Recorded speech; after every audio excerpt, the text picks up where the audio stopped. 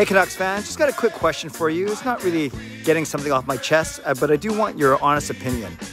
Always on Canucks Twitter, especially social media, Facebook, Instagram, yes, but mostly on Twitter, there always seems to be people fighting, talking about the media, talking about what the media said, talking about what a player said, what a coach said. And there's always two sides, of course, to anything, but especially on Twitter, it seems to be more toxic than anywhere else. And everyone seems to have an opinion, which is fair. I'm not here to judge.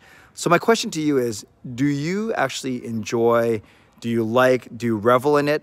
Do you just kind of put up with it? Or does it actually annoy you? And what I'm asking you is uh, basically talking about when people are kind of going against each other, but not just respectfully sharing opinions, but really, really going after each other? Or is that what comes with a passionate Canucks fan base?